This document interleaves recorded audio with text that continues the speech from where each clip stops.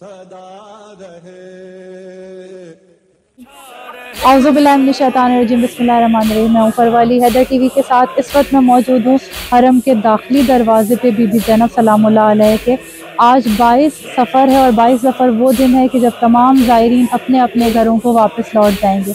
हर ज़ायरीन की अश्क बार है, रो रहे हैं पुरसा दे रहे हैं बीवी को उनके भाई का। आइए कुछ ज़ायरीन से हम बात करते हैं।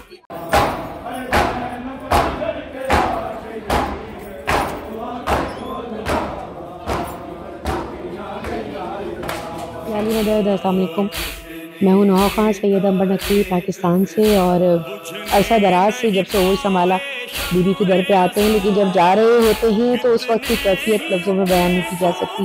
वो वक्त भी देखा कि जब ज़ायरों का हजूम था, फिर उसके बाद ज्यारत बंद हो गई कुछ सालों के लिए।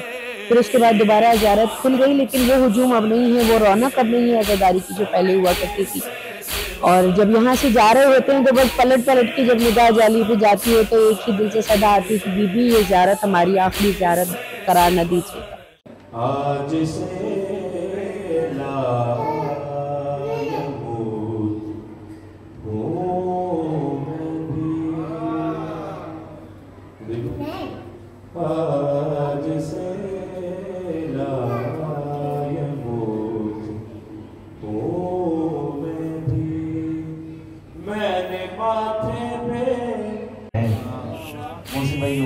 सुने हुए अजादार मैं हरीफ के नाम से वाकिफ हरीफ के चेहरे से वाकिफ। मेरा दिल है कि जब हर माथवी दिल्ली की दहलीज पर दाखिल हो जाए और गुम्बत को देखे तो मेरा दिल है कि हर माथवी गुम्बत को देख के क्या कहे।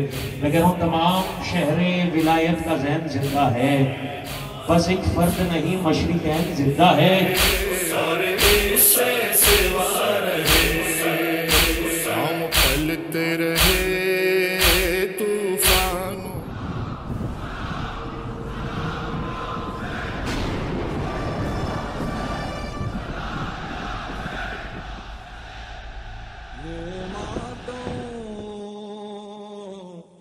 सदा रहे